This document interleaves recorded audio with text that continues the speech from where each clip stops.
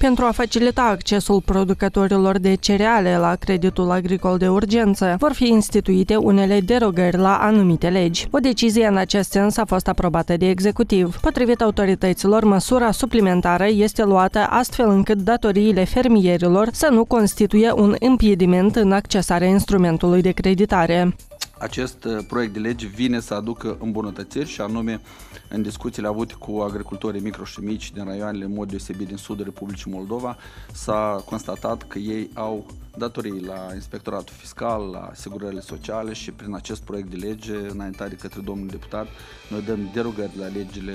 de la legile noastre și